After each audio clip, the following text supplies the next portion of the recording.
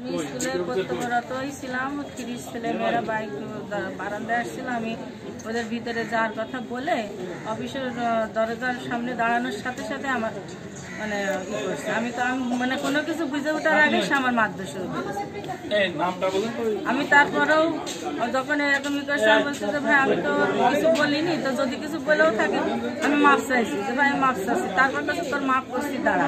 তোর আজকে আমি মেরে ফেলাবো। তোর এই স্কুলে আমি চাকরি করাচ্ছি টেবিলের উপরে যা যা ছিল আমি এক কোনায় ছেলে গেছিলাম। ওইটা আমার ইচ্ছা মতো মানে এলো পাতাড়ি মারা শুরু করেছে কারণ আমি মাথায় মারতে গেছিলাম আমি হাতে ঠেকানো করে আমার এই যে জায়গাটা ফ্র্যাকচার হয়ে গেছে। ঝিনাইদহকে আমার নেতৃবৃন্দ সহ স্মারকলিপি পেশ করেছি। এখন থানাতে আমরা কেস দিয়েছি। আমরা দৃষ্টান্তমূলক শাস্তি চাই যাতে এই প্রাথমিক শিক্ষক যারা জাতি গঠনের কারিগর, সেই শিক্ষকরা যাতে লাঞ্ছিত না হয়, শিক্ষকরা যেন মান সম্মান নিয়ে তাদের শিক্ষকতা কার্য চালাতে পারে। সবার কাছে আকুল আবেদন জানাই, শিক্ষকরা যাতে এই দেশ গড়ার কারিগর হিসেবে দেশের শিশুদের কাঙ্ক্ষিত লক্ষ্যে পৌঁছানোর জন্য সুষ্ঠুভাবে তাদের দায়িত্ব পালন করতে পারে, এই আশা আমি কামনা করি।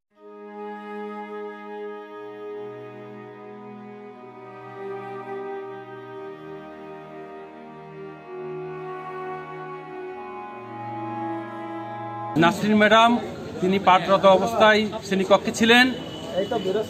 তিনি যখন শ্রেণীকক্ষের কার্যক্রম শেষ করে তার শিক্ষক লাউঞ্জে আসে, তখন অভিভাবক আব্দুল আলিম, সে অতর্কিতভাবে বিদ্যালয়ে প্রবেশ করে। সে আমাদের শিক্ষকের উপরে ভীষণভাবে আক্রমণ করে এবং তাকে প্রহার করে এবং ডাক্তারি পরীক্ষায় জানা গেছে যে তার হাতটা ভেঙে গেছে। ঠিকভাবে জানার পরে আমরা উপজেলা শিক্ষা অফিসার তারপরে জেলা প্রাথমিক শিক্ষা অফিসার, আমরা উপজেলা নির্বাহী কর্মকর্তা ছাড়া সবার সাথে আলোচনা করি এবং কথা বলি। যে এইরকম একটি ন্যাক্কাজনক ঘটনার আমরা সুষ্ঠু তদন্ত এবং সুষ্ঠু বিচার চাই।